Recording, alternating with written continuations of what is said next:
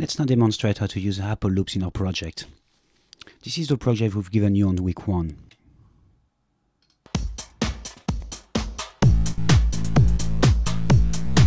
In this example, we want to add a tambourine to get a bit of a feel and to bring a bit of a live feel using percussion.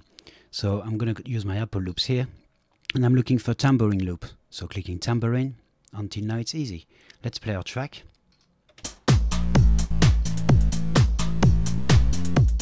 Now you can select some tambourine. And you can preview your loops to see how they fit within your project. If you want to hear your loop a little bit louder,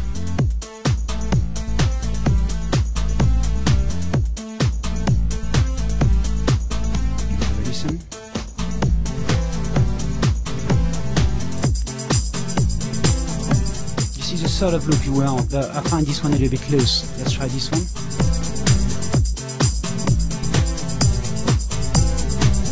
Yeah, this one is a lot, lot tighter. Quite happy with that loop actually. So we're going to select that loop.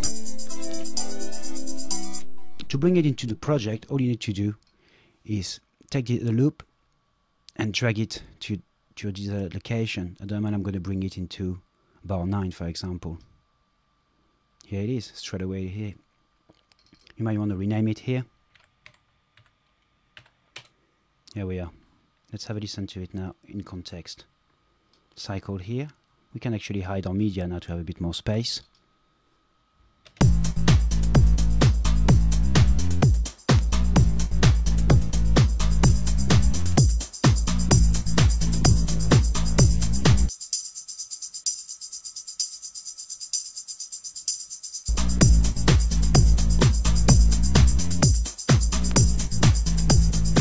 Works pretty well. However, let's zoom now.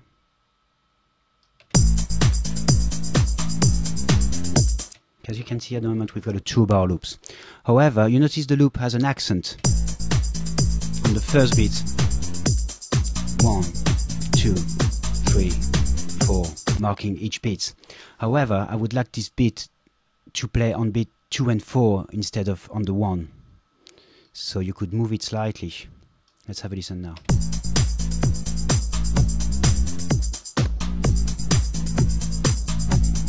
Okay, now we're going to edit it a little bit more because you see it's cut, it cuts out. So you can simply do that here. And I'm going to use only one bar loop for that purpose.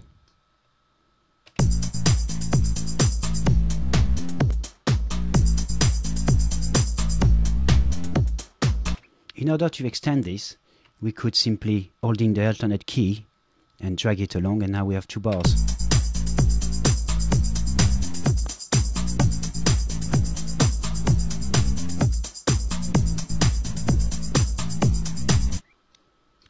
Another useful function in Logic is the loop tool.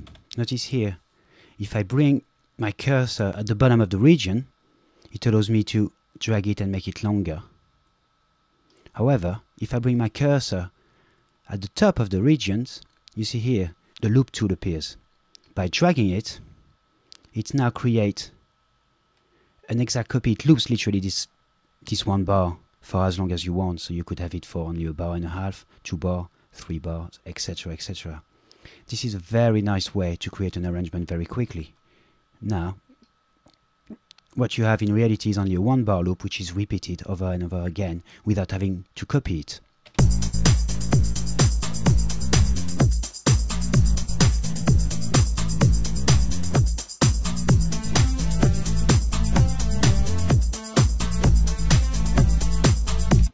If we go back at the beginning of our arrangement, a little bit further, a little bit before, sorry, taking off the cycle, have a listen.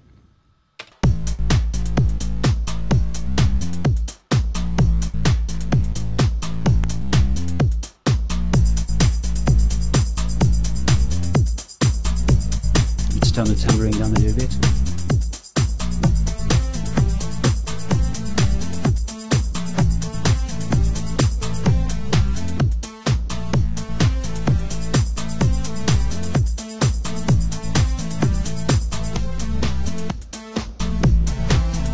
Creating a break here and now we could copy this whole thing again starting here for example. And you see here how this live element brings a lot more life and uh, adds a lot to the groove